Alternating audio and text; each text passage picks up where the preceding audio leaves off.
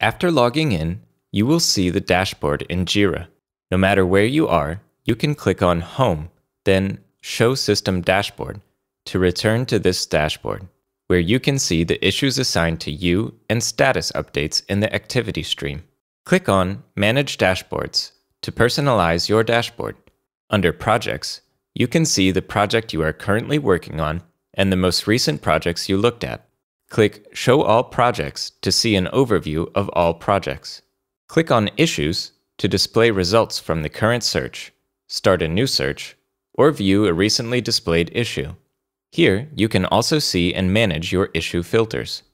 Under Boards, you can see all current Kanban and Scrum boards. Click on View All Boards to see a list. The Create button is certainly one of the most often used functions in Jira.